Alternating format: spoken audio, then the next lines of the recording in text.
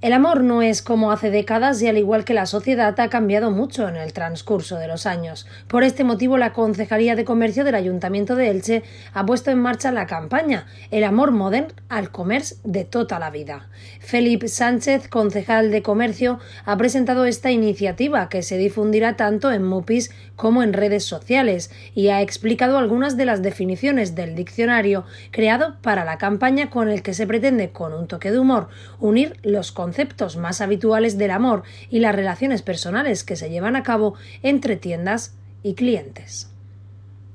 Eh, en cara que va relacionada a lo que es el día de, de enamorar, el concepto es molt y se puede ampliar a la resta de, de, del temps, o és atemporal, podríem dir.